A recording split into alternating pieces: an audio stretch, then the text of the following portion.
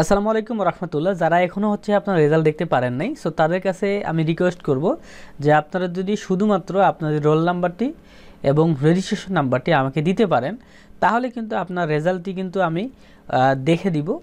কেননা আমি কিন্তু অলরেডি প্রায় বিশ পঁচিশ জনের রেজাল্ট কিন্তু আমি দেখছি।